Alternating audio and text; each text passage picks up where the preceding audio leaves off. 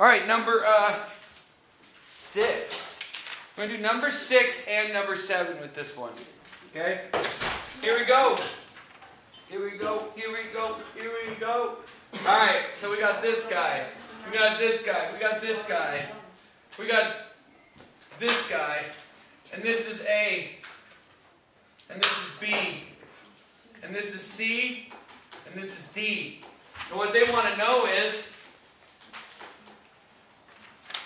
tell whether the angles are adjacent,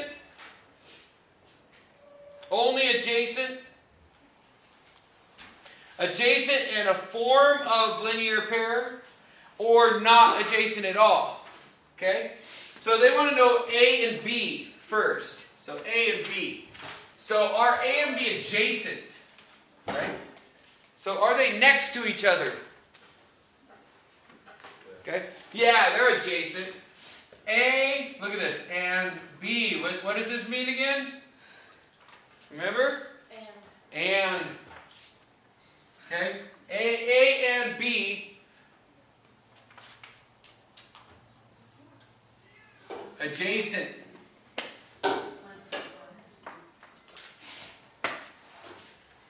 Okay? They are adjacent. Are they only adjacent? Or do they also make a linear pair? So, in other words, do they create a line? Is this 180 degrees? Yes. Yes. So, and they are called what's called a linear pair.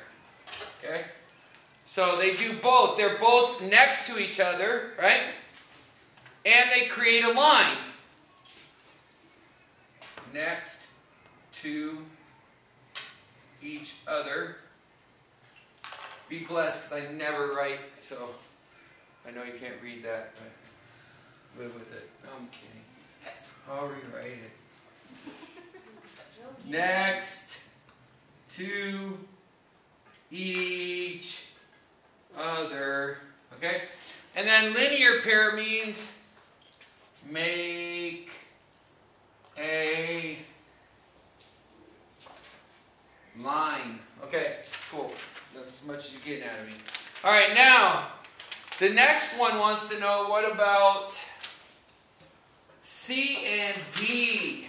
C and D. Let's take a look. C and D. Well, that would be this guy and this guy. Right? And I probably should have three here and maybe uh, one, two, three, four here. Right? Because they're all different sizes, right? Can't say that they're the same size. Anywho, are they next to each other? Yes. So. Do they make a linear pair? No. Okay.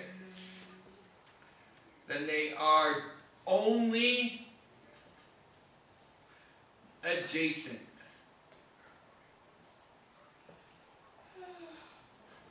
Okay? That's it. Mm-hmm. That's six. Then we look at seven. Ooh, seven and eight, I should lay them straight, right? Dad, your handwriting is so small. Is it? No, you're just too far back. No, it's super small. It's super small.